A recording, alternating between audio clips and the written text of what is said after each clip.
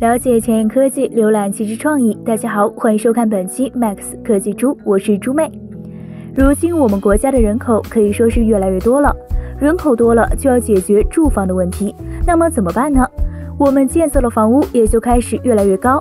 以前可以这么说，我们的楼房就没有超过十层的，到现在三十多层都有。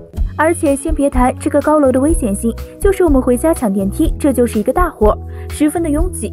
所以，为了避免我们以后在电梯面前疯抢，今天小编就来给大家介绍美国的一位女大学生，她发明出来的一个爬楼梯神器。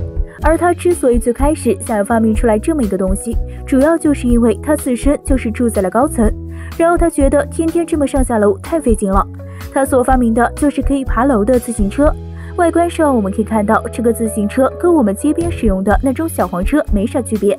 唯一有区别的是，他发明出来的这个自行车，它不是平行的来回运动，而是上下的进行运动。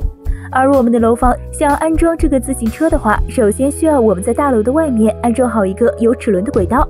这样的话，我们下楼的时候只需要上这个小黄车往下反着蹬，上楼的时候就正着蹬。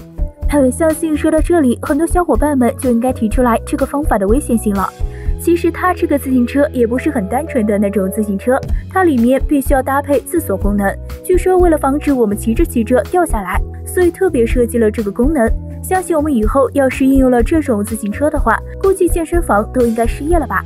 毕竟我们只要这么蹬的话，就能够有效的减肥了。好了，我们上期的答案是乐极生悲，没猜对的小伙伴们不要灰心，我们下期继续努力。请问第九次结婚打一地名？猜到答案的小伙伴们，在评论区留下你们的答案，猪妹下期会公布正确答案哟。